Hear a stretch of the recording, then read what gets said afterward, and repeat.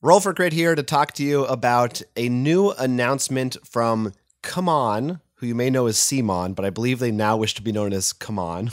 Uh, they are releasing a brand new technology that they are calling a new evolution in board games. It is called Teburu. That's another word that I'm not sure how they want me to pronounce it.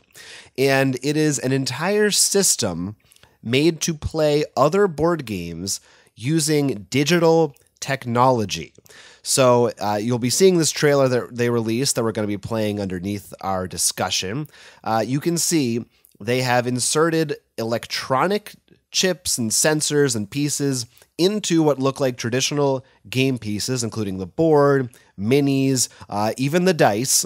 Uh, and also, it is compatible with an app. So uh, presumably each player playing whatever the game may be would have their phone in front of them that would feature their own characters' information uh, and other details that you'll have access to. And it would all be reading what you're doing in the game. So if you roll the dice, the app would recognize what you rolled because it's all wirelessly connected, electronic, and it would tell you how enemies move. It would know every environment, every possible action that you're taking on the board. They even have technology so that when you move somewhere, a sound might play to simulate different types of environments or monsters or enemies, uh, gunfire, anything that you might think of. It's all digitally connected.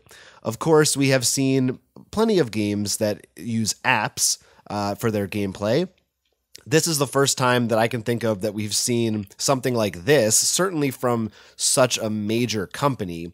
They have announced that the first game that it's going to be compatible with is Zombicide Evolution Las Vegas. It's going to uh, be on Kickstarter next year in 2020. But uh, you can see in the video, they also show a couple shots of what looks like Cthulhu Death May Die and Project Elite, two other games they put out.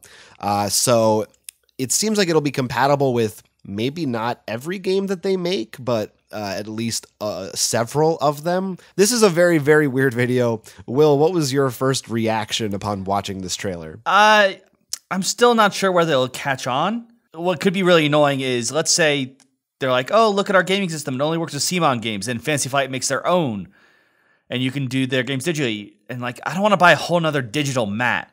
So I'm curious how that's gonna. If it does become big, it means everyone's gonna want to do it.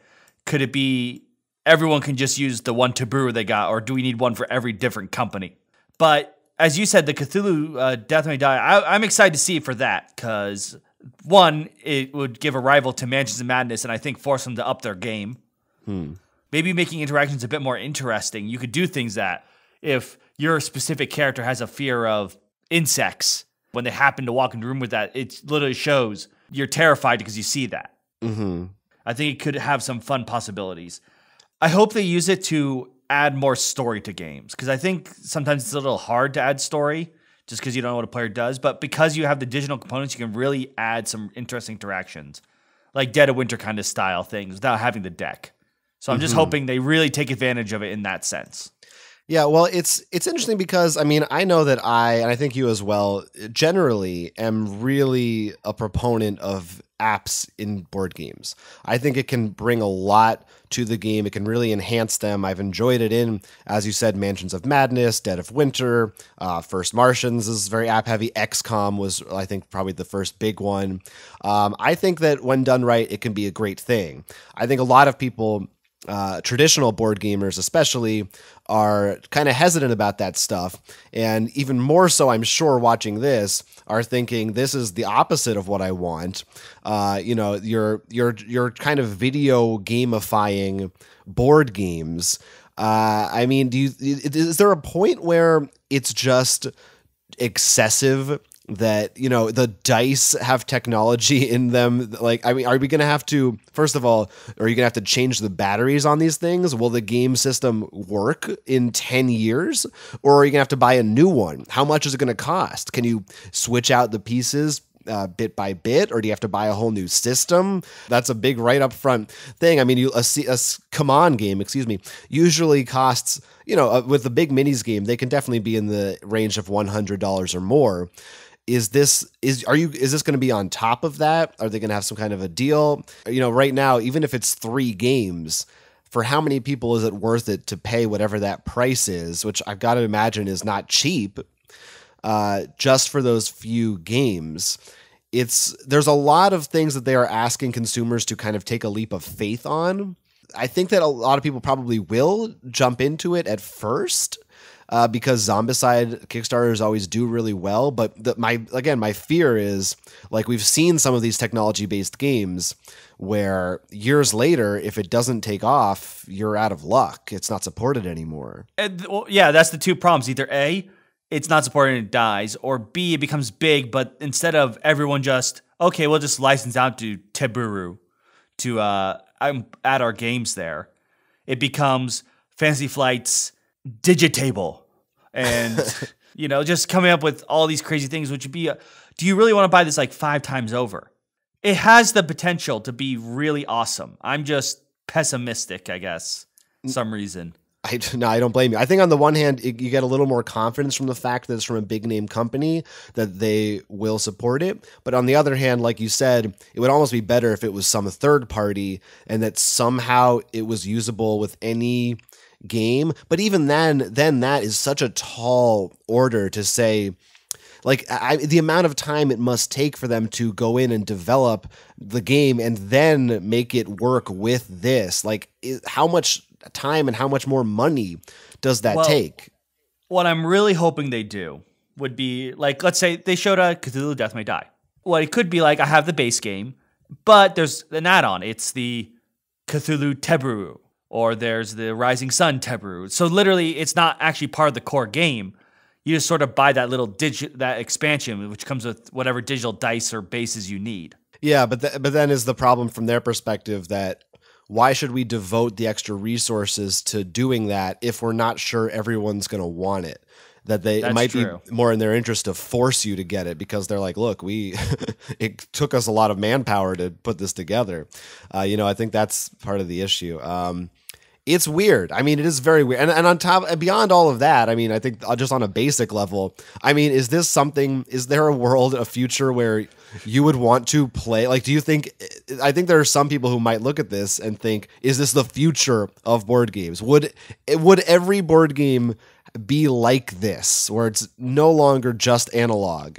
Some people are just, they don't want technology in their board games, you know, they don't want it at all. So, they're definitely cutting those out. And it just feels weird because you and I, as you said, are usually heavy proponents of technology in board games, but some reason this just, I don't know, worries me a little. Some reason. I think it's a lot very quickly. Uh, I think it's the expense. I mean, the thing is with most of these app-based games, uh, most people at this point have a smartphone, and you just download the app. It's not an extra cost.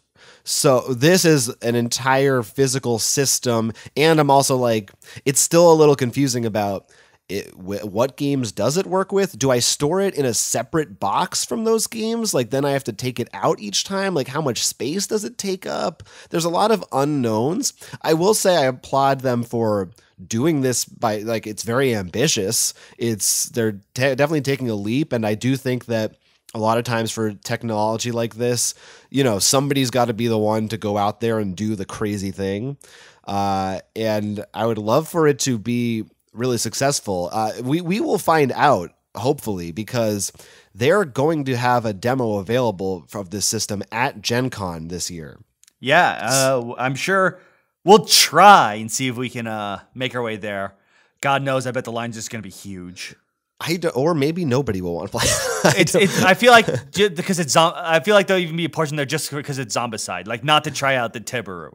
Yeah, that's probably true. Also, just, I just love in the press release their wording where they say "roll the wireless dice anywhere."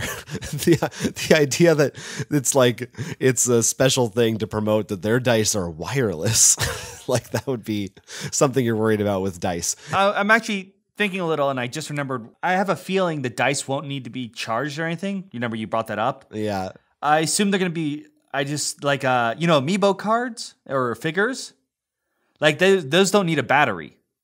Sure. You know, it's just they just. I just don't know how you make sure it scans properly.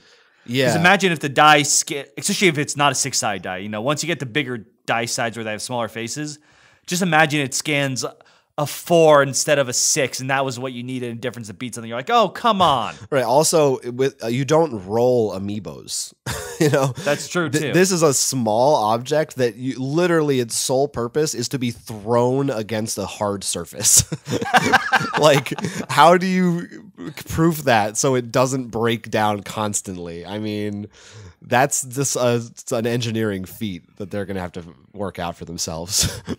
so uh, we will be seeing this and talking more about it uh, later this year at Gen Con, but it's going to be coming to Kickstarter in 2020. So let us know in the comments. Are you into Teburu? What do you think that name means? What games would you want to see use this? What are some ways you think this could be used in a cool way? Let us know in that comment section. but until then, I'm Will, I'm Jonathan. and this has been Roll for Crit. Get an inspiration token by supporting us on Patreon and liking and subscribing to this channel. If you support us on Patreon, you'll get access to our audio expansion podcast. It's so good.